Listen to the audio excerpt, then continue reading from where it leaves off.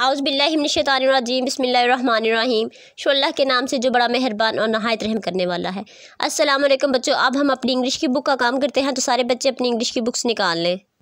तो जी बच्चों, सारे बच्चे अपनी इंग्लिश की बुक का पेज नंबर टू निकालेंगे। इंग्लिश की बुक का page number two Maya alphabet you know number one है। आपने कल पढ़ा था A for on B for bee C for cow D for deer E for आज आप लोग पढ़ोगे? बल्कि सॉरी बच्चों, आपने काव तक पढ़ा था? आज आप उससे करोगे आगे। यहाँ पे डेट लगाएँ थ्री डेट है फोर मंथ ठीक है? यहाँ पे सबसे पहले है डी डी फॉर आप लोग लिखोगे यहाँ पे deer D double E R deer तो आपने इसको याद करना है डी फॉर डियर उसके आगे है ई ई फॉर क्या होता है? ई फॉर है elk. E for elk E L K elk. F for fish F I S H fish D for deer E for elk F for fish A for on, B for bee, C for cow, D for deer, E for elk, F for fish.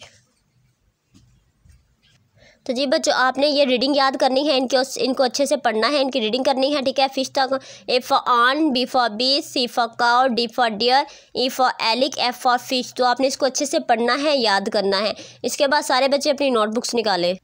तो जी बच्चों आज आप यहाँ पे date लगोगे सबसे पहले three date है three April two thousand twenty one और यहाँ पे आप लिखोगे सी डब्ल्यू और डे है Saturday S A T U R D A Y Saturday आज आप लिखोगे एम टू जी कल आपने लिखी ए टू एम आज आप लिखोगे एम टू जी तो सबसे पहले लिखोगे कैपिटल लेटर्स में एम एम के बाद N O P Q R S T U V W X Y Z ठीक है?